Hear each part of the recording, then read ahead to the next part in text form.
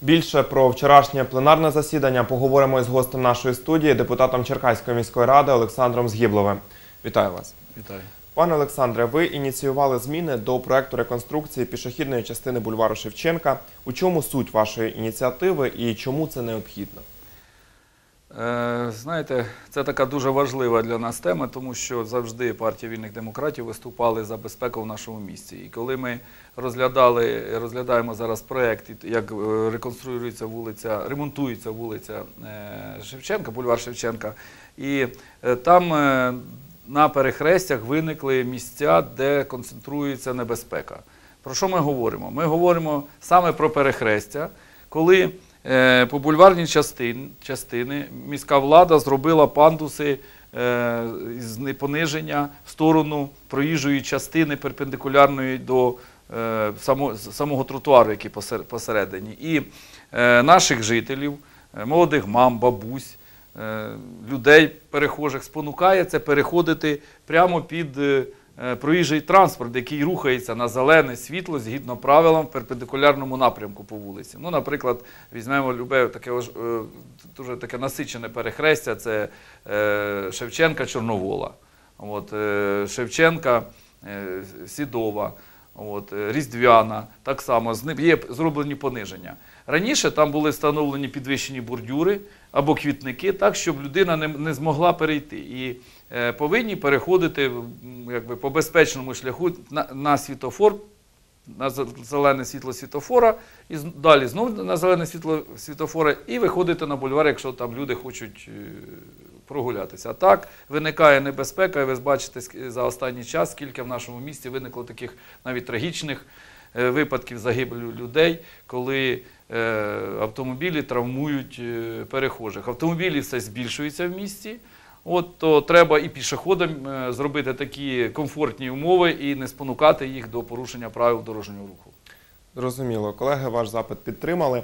Як гадаєте, чи таки втілиться запит?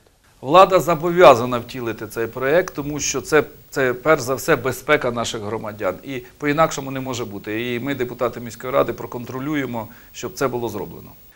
І, чесно кажучи, мене дуже здивувала позиція е, міського голови і депутатів, депутатів міської ради під час голосування за це питання, яке покращує безпеку в нашому місті. Чомусь сам міський голова і е, 13 депутатів міської ради проголосували е, проти.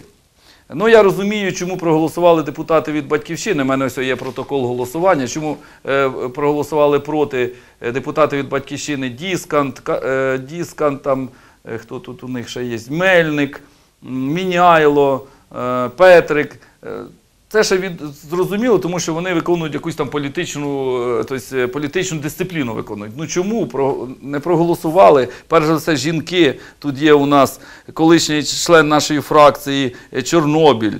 Це Гвінцева. Це Гвінцева взагалі е, завідуюча садочком. Олена Шевченка, яка є мама, мама і теж повинна е, хвилюватися за, за е, безпеку. І також вся фракція Черкащани на чолі з Карасем.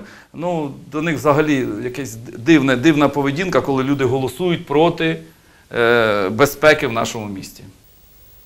На останній пленарці депутати ухвалили звернення про події в Україні, які пов'язані із затриманням Саакашвілі. Чому це питання взагалі виникло тут, у Черкасах? Наша фракція проголосувала за.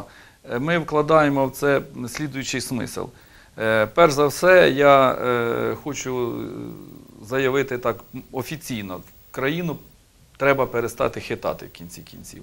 Я чомусь не розумію, чому так сталося в нашій країні, що приїжджають якісь екс, ну, екс-президенти якоїсь іншої країни за кордону, це Грузія, це може бути якась інша країна, і починають якісь політичні, ну це не зовсім схоже на політичні е, дії в нашій країні. Зараз е, навпаки всім, е, всім жителям міста, всім наш, ну, українцям треба об'єднатися і перестати. Е, створювати якісь такі політичні, політичні напруження. Тому що насправді в державі всі реформи, які проходять, проводять і, і уряд, і президент України, вони такі йдуть в тому напрямку, в якому треба. І, звичайно, е, тим силам, яким це не дуже до вподоби, починаються розхитування. Я сам був в Києві, і мені було дуже неприємно, коли е, ловили там Саакашві- того, президента Саакашвілі десь там на, на покрівлі, перекриті всі вулиці. Це таке напруження соціальне, не може не проїхати, не проїхати по, по місту. Потім його десь випускають.